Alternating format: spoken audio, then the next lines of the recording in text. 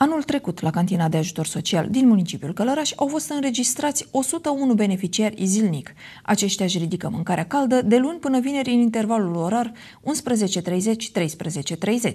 Mai multe informații despre criteriile de selecție și obligațiile beneficiarilor ne dă Mihai Toneanu, șeful cantinei de ajutor social.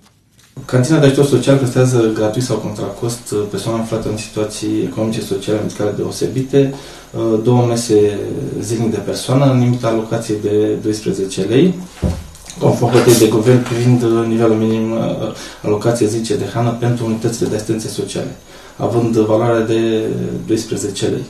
În anul 2019, un număr de 6 persoane au realizat venituri ce se situează peste nivelul venitului lunar de o singură Uh, persoană, luat în calcul la stabilirea ajutorului social și au achitat contribuția de 30%, fără a depăși costul meselor, luat în calcul pe, pe aceeași perioadă și la nivel de an 2019 au fost încasări și depuneri de 14.800 de lei.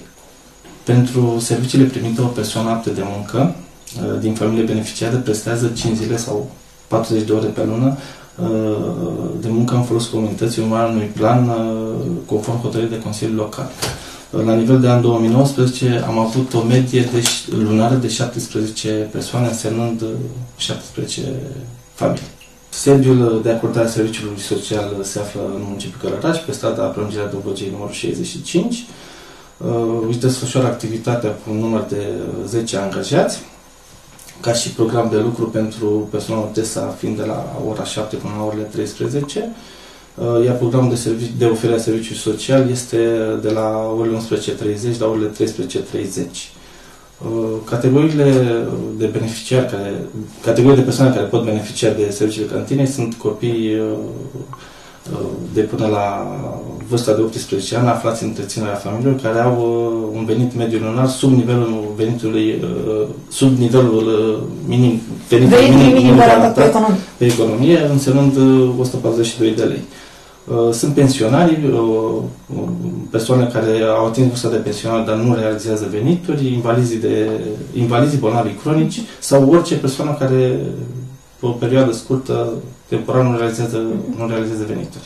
Unde pot depune cererile pentru a beneficia de serviciul dumneavoastră, persoanele uh, interesate? Pentru a beneficia de serviciile cantinei, uh, trebuie să depună o cerere la Primăria Municipiului Călăraș, adresată domnului primar, uh, Uh, și acte doveditoare uh, pentru stabilirea venitului și a numărul membrilor familiei. Uh-huh. În momentul de față, câți beneficiari aveți la, la cantina socială? Uh, la nivel de anul 2019 am avut o medie de 101 beneficiari pe zi. Uh-huh. Comparativ cu anii trecuți, numărul beneficiarilor se află în creștere sau în scădere?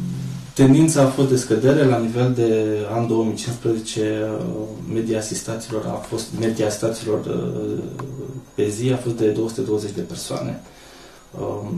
2016 200, 201 persoane, 2017 180, iar anul trecut, anul trecut 2018 de 131 de persoane. Deci încet, încet s-au înjumătățit. S-au înjumătățit. Uh-huh.